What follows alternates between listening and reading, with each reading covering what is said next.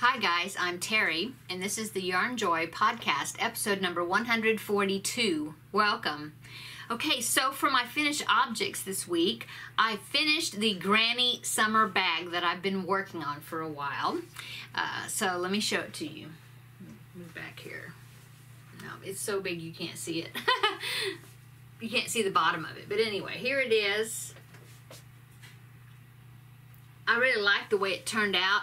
I like the straps. I even lined it. so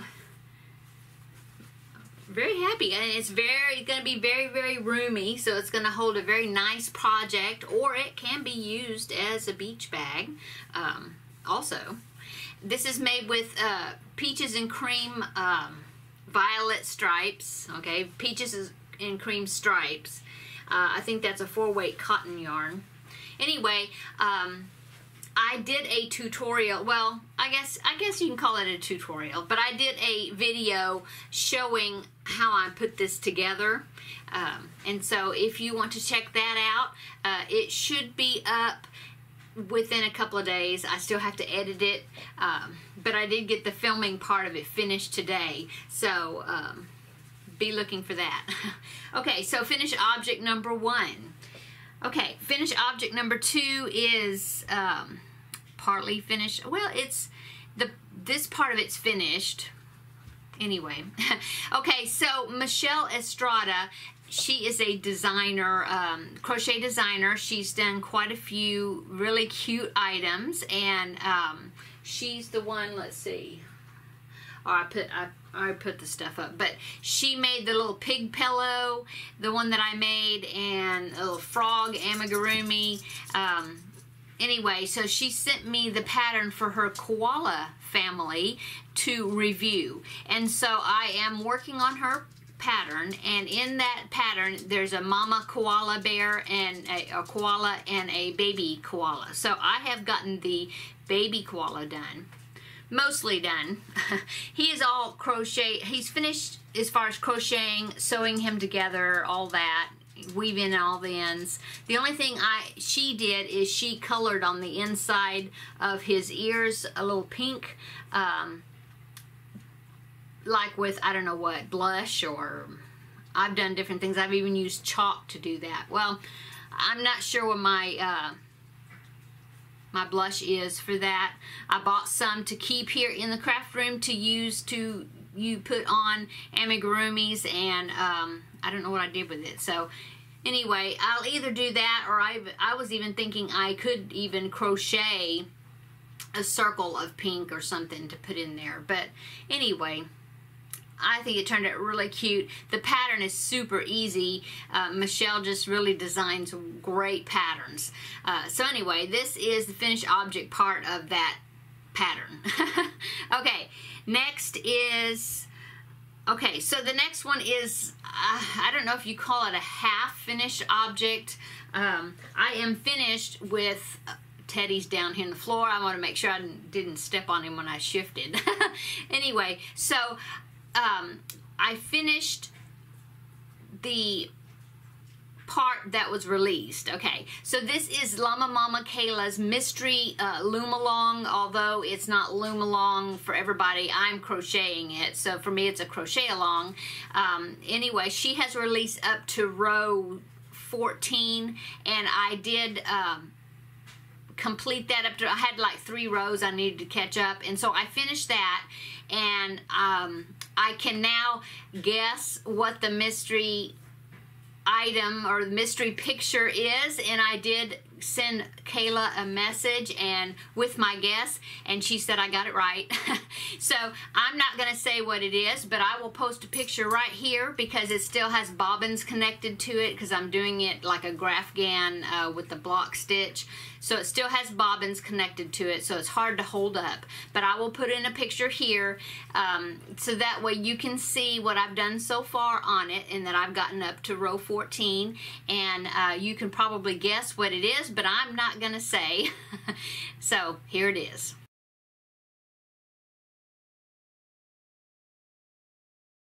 So I'm having a wonderful time doing that project. Um, I, I know that the picture and the well, after it gets finished that it's going to look awesome. Uh, thanks Kayla for doing this. Uh, it's just, I'm really having a lot of fun with it. Uh, and I will link um, below links to her YouTube channel or her YouTube video where she um, talks about it's like the introduction, the first video about this mystery crochet along, stitch along, whatever you want to call it. And um, I will link that below and you can jump in anytime and start from the beginning and, and don't worry about that it's already gotten 14 rows into it. Everybody's kind of at different levels uh, in the project so it's kind of a work as you go thing. Okay so that is all my finished objects, half finished objects uh, or finished sections uh, that I have to show for this week. Now works in progress I am really zooming along on the circle, circles and stripes throw. I've just been really enjoying putting these together. Um, I've got, um, got almost all the squares done. Now I will pop in a picture here of what the blanket is, well, what the pattern looks like.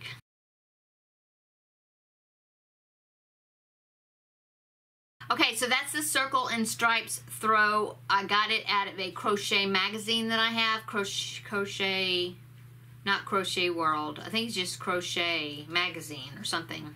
Anyway, um, it was like a special edition um, issue. And so anyway, I am basing my pattern off of that, but I'm doing it a different size. I'm not making that many squares because my squares are coming out larger. I'm using a little bit larger hook. And so I'm just kind of using that as a, to go by, but I'm kind of changing it. So anyway, I have got all my squares done. I've picked out four colors uh, for those circles and so far and they're all Caron Simply Soft the, the colors of the circles. And so I have uh, purple that is uh, Caron Simply Soft grape okay? And then I have this cobalt blue is what this color is called okay? And then I have um, let's see. I have this one which is chartreuse right there. And then now I'm working on my fourth color, which is um, is called Super Duper Yellow. So it's this one. and so I am doing, I'm going to do five squares by four squares. So that's 20. I'm doing five colors five of each of the four colors. And so I have to do I think I got a couple more of the blue to do. Uh, the greens and the purples I've got all of them done. I'm working on the yellows now. I have three of the circles but they haven't been turned into squares yet. So I got to do two more of these circles and then turn you know turn them into the squares. And then then I can stitch it together. So I'm real excited about that. It's uh, I just like having this by my chair when I'm uh, watching in the evening watching um, videos or whatever with my husband and I can just make up you know just be working on circles. So uh, I've gotten you know pretty good stack of them finished. I have a few ends I have to weave in here and there but I'm trying to keep up with those. And so um, this color now this color right here is a charcoal. You can see that? It's a charcoal gray color that I'm using for the main color to tie them all together. Um, it is some I got in a uh, miss, like a mill-ends bag, mystery bag from Lion Brand. I think it was like where you got a one pound of worsted weight yarn. And um, I got this big package of this dark charcoal gray yarn. And so I'm using that as my main color for this uh, project. And then, so with my with my squares, they're set. I thought they were eight inch squares. They're not. They're seven and a half inch squares. And so when I put four across, that's like 30 inches by 38 inches if I do five down and so I'm going to that striped border that you saw in the picture I'm going to do probably like a three inch of that border all the way around it to get it a little bit wider and taller uh, I'm aiming it to be um, Lapghan size or wheelchair throw size, something like that. So anyway, I'm, I'm having fun putting these together. Um, I mean, creating them, and now I'm going to get, I'm going to stitch them together soon. I'm almost almost to that point. Okay, so that is works in progress number one. Works in progress number two. Okay, now the Stash Buster 2020. This is a crochet along that Crystal of Chronically Crocheting is hosting uh, once a month for the whole year. And um, so she released the uh, well, she is doing it, but then every every couple of months there she has a guest host that takes over for that month. And so this month Amber of Ooh Ah Crochet is hosting, and I will put the a link to the video down below where she talks about and announces the project for this month. And so, anyway, the project for this month is a spring themed project. Okay, so this is what I've decided to do. Okay, so if you've been following me um, for a while, you know, a year or so, well, I did this, I designed, uh, just make sure the dog wasn't down there. Okay, I designed this wall hanging, okay?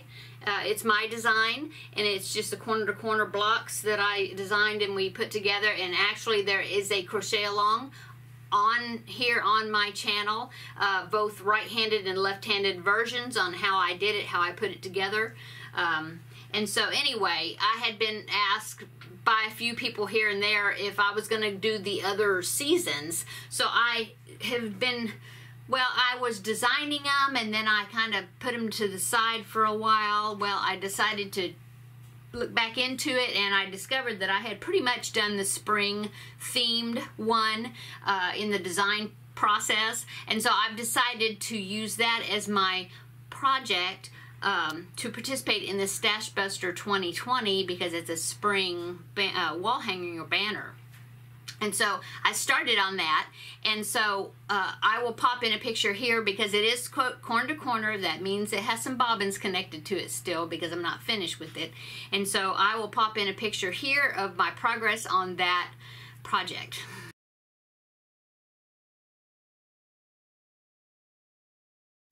So as you can see, it is going to be another uh, three uh, paneled or three piece uh, project. Like this one, it'll have the word spring down here. Now I'm doing it in a little smaller stitch than this. I think it's like a mini corner to corner, which I'm using half double crochet stitches instead of uh, double crochet stitches because I had to make it in, in order to get the letters spring on there because there's more letters than fall. Um, it was going to be longer. I think the width was going to be about the same, but it was going to be longer. And so I decided to do it smaller um, and so I'm doing it in a like mini corner corner version. Uh, but anyway, the the um, it could be done in any size stitch if or even yeah any type of Graphghan type process you want to do anyway uh, so I'm working on that uh, finishing it up and then I uh, my husband uh, agreed to help me put together a PDF file of that pattern so um, be looking for that when we kind of get everything united together and fixed. so anyway, I've got I'm working on it. So that is my progress on that one, which would be my works in progress number two. Okay, works in progress number three is the mama koala to go with the koala family. I just have this much done. I've got the eyes in, but that's it. Um, but the, the pattern goes quickly, and so um, I should be able to get that finished up um, this next week. Um, hoping, hoping. okay, so uh, the only other thing I did is I started, since I had finished the shawl that I was working on before, the fringed um, granny shawl that I did, I think that's what it's called. Anyway, I decided to start another shawl because I like using my uh, mandala cakes back there. And so I decided to do the Erigeneia shawl. I have done that project before. This will be like my third one that I've done and I enjoyed the project and so I've decided to do that. So I just barely got started on it. Um, so that's all I've gotten so far. but the colorway I'm going to be using, I have used this for this pattern before because I think the first one I did, I made it in Spirit. The second one, I made it in Sphinx, which this is what this is. Um, I believe it's going to take, I think it takes about one and a half cakes of it, I think. And so um, I really like the way this one came out when I made it in this colorway before. And so I'm going to do it again. and I'm using a, I think it's an H hook. I think that's what it is I'm using. Yeah, I'm using an H, H hook for it. So anyway. if that's not right, then I'll tell you again next week if if that's not the right hook I'm using, but I think that's what I'm using for it. okay, so let's see. That is all of my works in progress. I'm really having a hard time not starting everything because Krista of the Secret Yarnery. Now, uh, she just released a tutorial for a spiral type granny. Oh, I want to do it so bad. But I know that I need to finish, uh, I got to finish some of these other projects uh, because I've got lots of stuff upcoming. So let's go into that. Upcoming is the tutorial for the summer bag or, or my process of how I put it together, okay? So that video will be up uh, within the next few days. I just have to edit it. And then uh, I had said last week that I was gonna, I had found a backpack buddy pattern that I wanted to make, and well, I didn't get to it, so I put it, I kept it back on my list, and so I'm hoping to get to it this week because it's really gonna be cute whenever I get it done. Um, and then I also taking part of the in the Happy Scrappy Yarn Challenge, which is a monthly challenge for this year that Christy of Tea Doddles and Christy of Create Crochet Creations by Christy, I think that's right. uh, they are hosting and they're kind of like tag teaming. So, like last month, um, Christy of Crochet Creations by Christy uh, she did the challenge of doing the Valentine, and I did the little Valentine coaster, but I made it bigger. Um, and so today is the first Thursday of the month, so I'm thinking sometime today, Christy of Tea Dolls, she's going to be hosting this month of March, and she's going to be releasing her video saying what the challenge is for this month. And so um, that should be coming out today or soon anyway. And so that's coming up, whatever it may be. and then, of course, this is a new month, so I need to get on to my goal of doing the three preemie hats per month. And so I need to go ahead and get the first one started. I haven't done that yet. And of course, my goal for this monthly, for throughout the year, is to work on the Rudolph the Red Nose reindeer uh, crochet kit, this one. and um, so I have done Rudolph and Santa so far. So the next one in the book is going to be um, Clarice, which is Rudolph's girlfriend, which would be uh, her. and so I'm working, I need to get her started. Um, so yeah, I need her started. Uh, oh, I also got an email at somebody requesting uh, for me to do um, make her one of the Santas. She really, she said she liked the way it turned out, and so she asked me if she would make it. And so or if I would make it for her, you know, she would buy it or whatever. And I said, no, I said, let's, I'll do it. But I said, let's do a, a swap with each other because I haven't done a crochet swap with anybody in a while. And so um, I want, I would think, I think that would be fun. And so let's, let's do that. And then I will include the Santa in the swap box that I will be sending to her. And this, uh, person that I'm going to be doing this swap with, she doesn't make YouTube videos, but she is a faithful watcher of my, uh, or viewer of my videos.